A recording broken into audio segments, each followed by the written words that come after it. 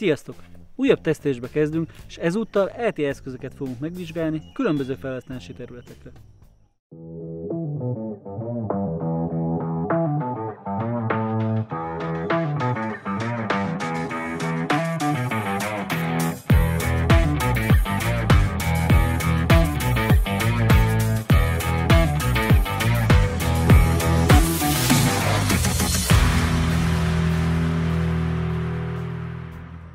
Most megvizsgáljuk a mobil internet díjcsomagokat, akkor néhány ezer forintért már korlátlan szélessávú előfizetésünk lehet.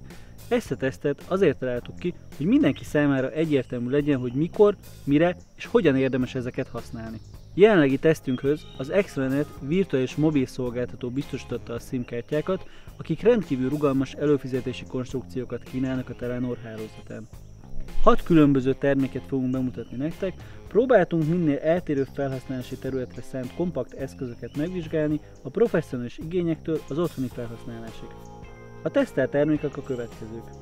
Mikrotiktől a WAP LTE kitet, az SXT LTE-t és az ELTAP minit, Huawei-től a B25S-t, valamint az E5785-öt, míg a TP-Linktől az MR200-et fogjuk tesztelni.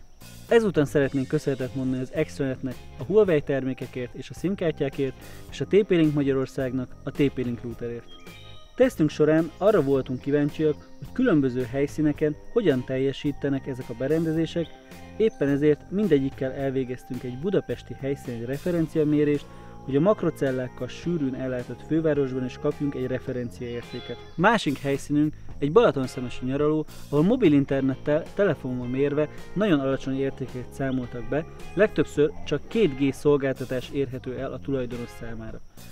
Az érdekelt minket, hogy a dedikált LTE routerek hogyan teljesítenek ilyen körülményekben. Hogy még izgalmasabb legyen a tesztünk, az út során is végrehajtottunk méréseket mozgó járműből egy arra tervezett eszközzel. Méréseinket minden esetben a speedtest.net-tel fogjuk végrehajtani, és legalább 10 mérést fogunk végezni, valamint a legjobb eredményekről fogunk beszámolni nektek.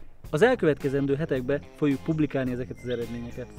Ha még nem tettétek volna meg, iratkozzatok fel a csatornánkra. Jövő héten újra találkozunk. Sziasztok!